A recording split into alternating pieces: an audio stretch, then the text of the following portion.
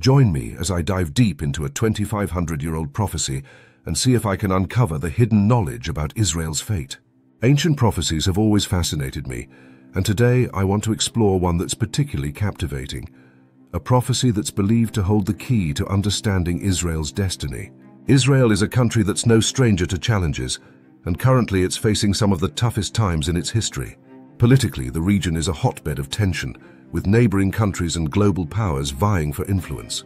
Alongside this, there are significant societal issues, including rampant inequality, a struggling economy, and a growing sense of disillusionment among its citizens. The country's very identity is being questioned, with some arguing that its founding principles are being eroded. All this has led to a sense of uncertainty, and many are wondering what the future holds for this embattled nation. As we'll see, this prophecy may just offer some insight into what's in store. The divisions within Israeli society are stark, with some calling for a more inclusive secular state, while others believe that Israel's future lies in its adherence to traditional values. Meanwhile, the international community is watching with bated breath as Middle Eastern politics continue to dominate global headlines. The prophecy we're going to explore today has its roots in ancient Jewish texts, specifically the writings of the prophets.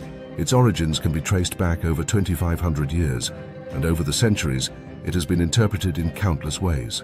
Some believe it foretells a time of great strife, while others see it as a harbinger of peace and redemption.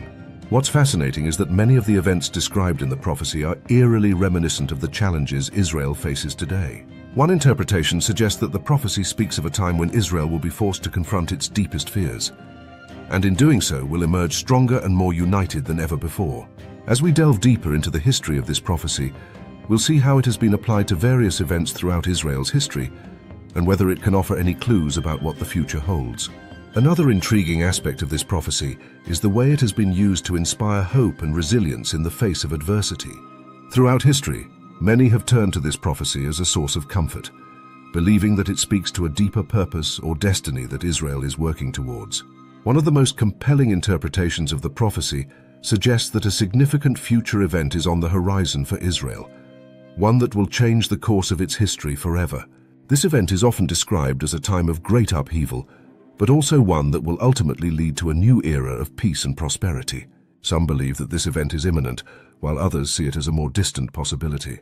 What's clear, however, is that this prophecy has captured the imagination of many and continues to inspire debate and speculation.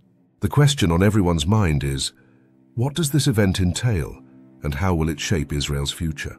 As we explore this prophecy further, we'll examine the different ways in which this event has been interpreted and whether it's possible to separate fact from fiction.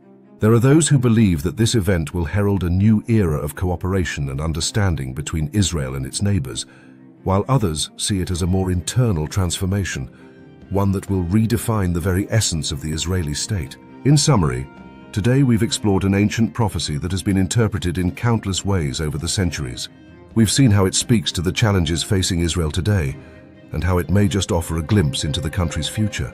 While the prophecy is open to interpretation, one thing is clear. It has the potential to shape our understanding of Israel's destiny in profound ways. Thanks for watching, and don't forget to share your thoughts in the comments below. If you want to learn more about prophecies and current events, be sure to check out my other videos for more insights and analysis.